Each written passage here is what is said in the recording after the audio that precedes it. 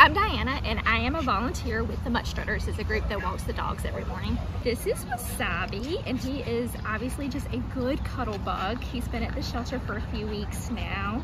We think he's about two to three years old and this is his happy place. He loves to just lay in someone's lap. He walks well on a leash. He's really gentle. He's loving.